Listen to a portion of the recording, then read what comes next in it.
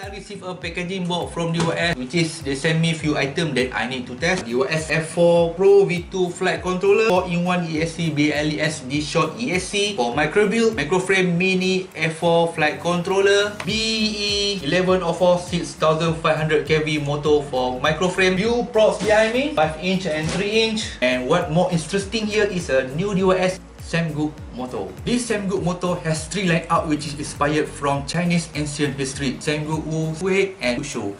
They came with variant kV option from 2003 kV until 2800 kV for you to choose. So with me here is Shu 2306 2800 kV. More info and details such as size KV variant, trust test, datasheet you can see in the description below of this video. You also can refer uh, Engineer YouTube channel to get more info about this same good motor. So what I am gonna do today is to hook up everything here together and make it it fly.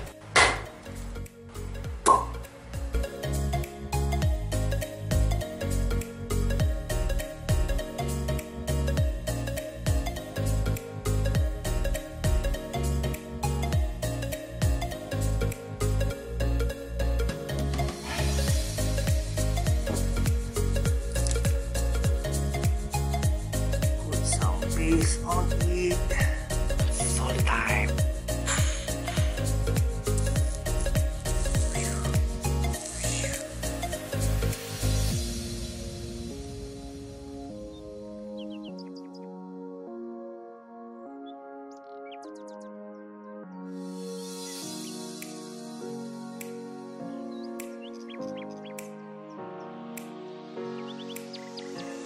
Motor ESC already bound to the frame and also motor wiring already soldered to the ESC. And the next stage is to set it up flight controller, the radio receiver, video transmitter and the CCD soldering together into the flight controller F4 Pro V2.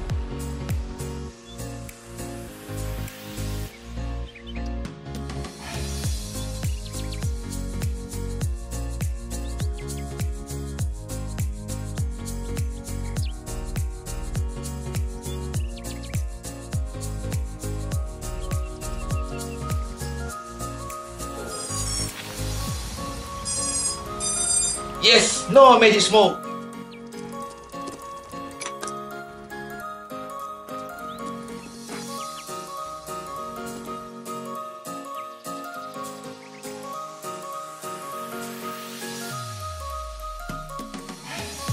And then is setting up with a beta flight configurator, the expert selection, radio midpoint endpoint, radio switch,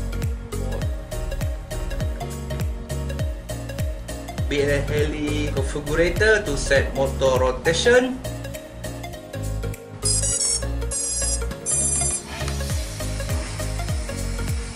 Well, everything is good. Now let's go out to take her first flight at my Top Gear test track.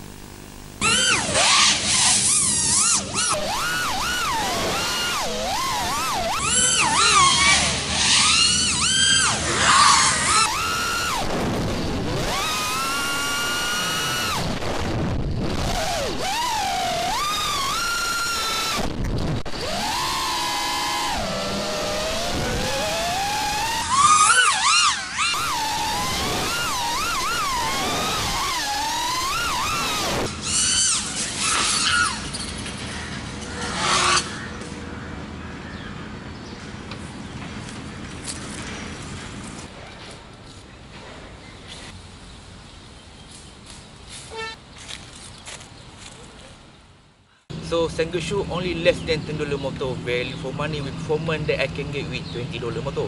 This is very powerful, punchy and also very smooth. Nevertheless, it is a, a bit heavy side but it perfectly compensated by increase in torque and also power.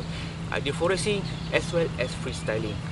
Uh, thank you for watching and enjoy the full flight video.